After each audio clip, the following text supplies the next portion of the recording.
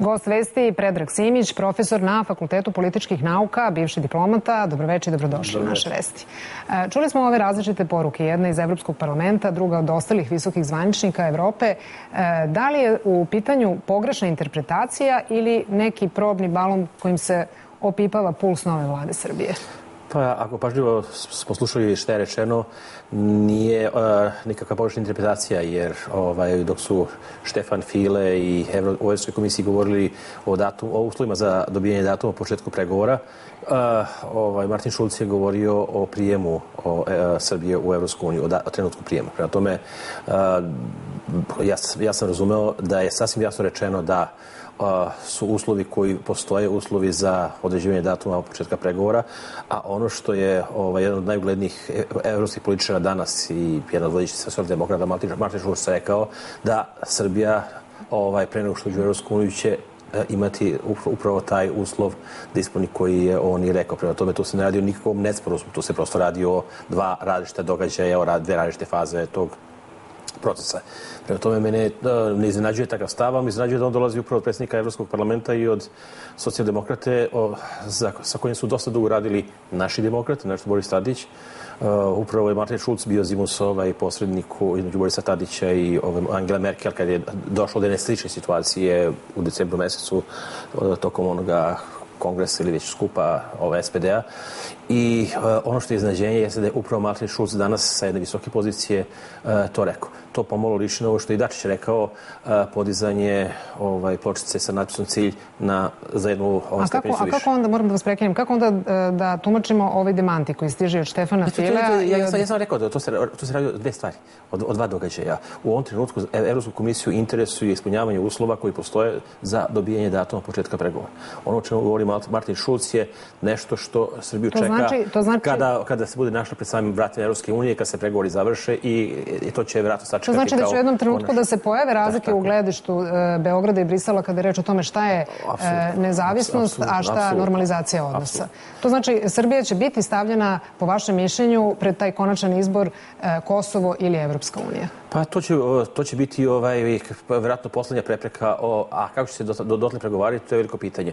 Mislim da u ovom trenutku je, je pogotovo za socijaldemokratske, partije socijaldemokratske organizacije kod nas, pre svega za, za Dačića, e, čiji je SPS posmatraču, ali ovo je mnogo veće pitanje za demokratsku stranku koja je već 12 godina član ovaj, socijalističke internacionale i koja je jako puno uložila upravo u, u ove odnose.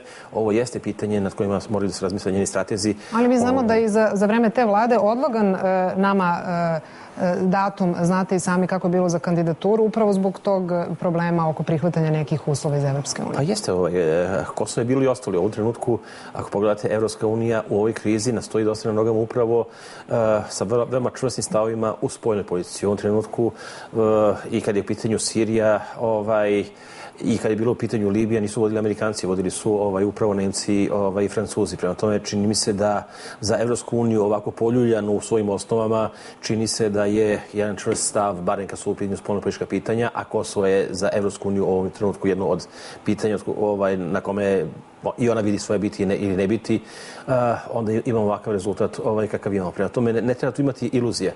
Uh, i jednom i poslednji put da kažem, e, znači, e, priznanje Kosova nije uslov za dobijanje datuma za, za, za početak pregovora.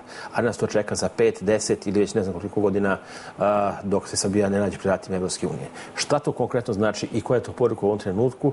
Ja mislim da, da, će, da će ova poruka verovatno spustiti i oni 49% koliko u Srbiji ima podrške javnog mijenja još niže i mislim da se oni koji su i govorili, znali smo mi to ovaj, od ranije i jedni prijateljima u Moskvi mogu samo da se obraduju ovakve poruci. I, I tako su bile prve reakcije ovaj, lidera srpskih partija večeras. Se vratimo uh, nastavku dijaloga. Uh, ko po vama treba da uh, vodi taj dijalog? Predsednik ili premijer? Po mišljenju nijedan ni drugi jer, jer ja mislim da a, već samo, samo učešće predsjednika premijera u takvom dijalogu znači de facto priznanje. A, I upravo u međunarodnim odnosima vi morate imati, vi ne morate imati i formalnu notu pri, sa, sa, telegramom priznanja, vi, vi, vi sam, samo, samim tim što vi ste a, na nivou ljudi koji predstavljaju državu, znači koji a, a i, i, i predsjednik i premijer i ministar pa čak i izvanredni opodomoćni ambasador imaju ta ovlašćenja. Znači, na tim nivoima mi de facto Kosovo priznajemo i ja tu nemam baš mnogo, kako da kažem, dilema, ani marginu nekakvog. Po mom mišljenju, ti pregovori se, se ipak su se morali već voditi. Mislim da je bila greška što su oni vodili, što ih vodi čovjek ovaj, koji je doskora bio u ministarstvu spoljnih posla. To je trebalo da, da, da radi ili ministar za Kosovo i Metohiju ili ne, neko što ministarstvo koji je bio još mnogo kompetentniji, ali da ne ulazim u tu, tu priču. Po mom mišljenju i kancelarija za Kosovo i Metohiju i njen šef su upravo taj nivo koji bi obezbedio da ti pregovori te, teku bez implicitnog ili eksplicitnog priznanja.